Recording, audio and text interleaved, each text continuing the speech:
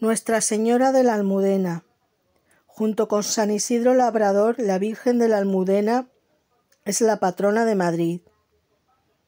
En esta ciudad que cada día se aleja más de las tradiciones católicas. Goza de gran devoción como protectora de los madrileños. Cuando los, los ejércitos del Islam encontraron en la península ibérica en el año 711, el, arzobispo de Toledo ordenó que todas las imágenes de las Virgen fuesen escondidas. Los habitantes de Madrid hicieron un pequeño hueco en las murallas de la ciudad y ocultaron allí la estatua de María, con dos velas encendidas. Una familia quedó encargada de recordar generación tras generación donde estaba guardada la santa imagen.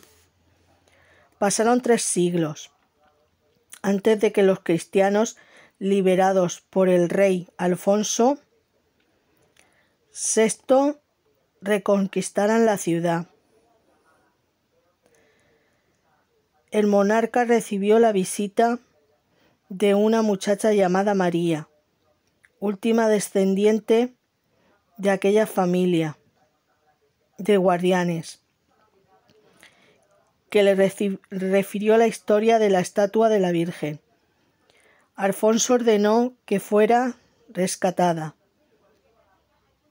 pero las murallas de Madrid habían crecido tanto que fue imposible encontrarla.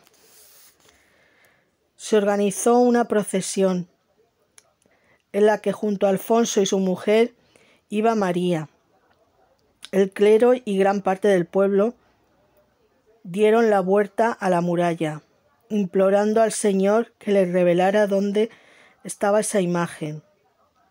Cuando llegaron a la cuesta de la Vega, se escuchó un gran estrépito.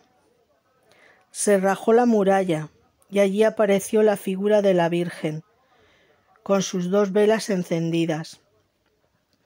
A través de aquella imagen Nuestra Señora había protegido a la ciudad de Madrid durante la estancia de los árabes.